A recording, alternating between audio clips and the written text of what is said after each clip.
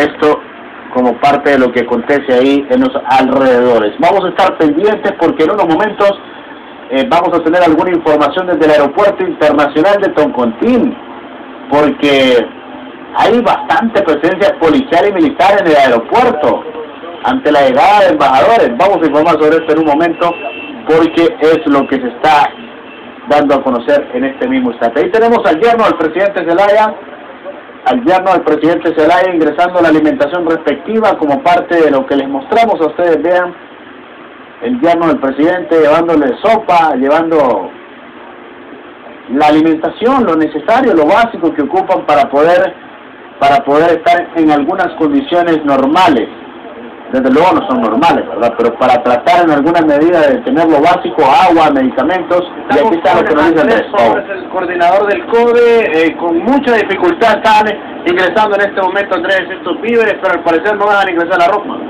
Bueno, se puede ver la hora que tenemos. Estas son supuestamente el desayuno de las personas que están allá. Aquí el problema es que no se sabe quién manda. Nosotros sí sabemos quién, pero entre ellos se tiran la, la pelota, ¿no? Aquí mandan los militares.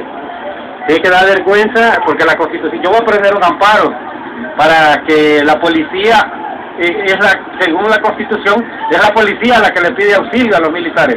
Pero aquí es la policía la que le está pidiendo a los militares sometimiento. Se somete a los militares cuando son los militares que deben someter al mando policial. Aquí hay gente que toma las decisiones. Hoy ya decidieron desde ayer en la tarde no dejar irles ingresar ropa. Eso es grave. La gente tiene que tener ropa. Como que no van a tener ropa. Ustedes les están, eh, les están provocando todo eso. Usted puede ver, nosotros tenemos la ropa, las cosas de ellos, pero no las están dejando entrar. Y usted va a presentar un amparo entonces ante esta situación. Claro, porque eso provoca enfermedades en la piel. Tenemos la autorización de la Embajada de Brasil. Ese es territorio brasileño. Entonces, porque se tiene alguien aquí que decidir que se mete ahí o que no. Si tenemos la autorización de la Embajada de Brasil. Bueno, lamentable esta situación, Andrés, porque no se puede estar eh, de ninguna manera eh, viviendo de esta forma y eh, respetando la, la, soberanía de su país.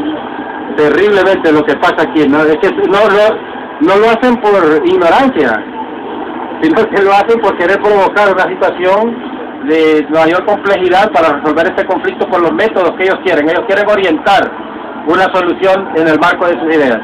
Correcto. Eh, muchas gracias, Andrés. Vamos a estar pendientes. Andrés Pavón es el coordinador del CODE. Cuando tenemos imágenes también de la... Eh, bueno, y las imágenes que nos eh, llegan de la actividad de la resistencia en las últimas horas. Vean ustedes una cantidad importante de miembros de la resistencia que llegaron a los alrededores de la Embajada de Brasil. Voy a quedar en el estudio Orlin para que me prepare también la declaración del profesor Luis Sosa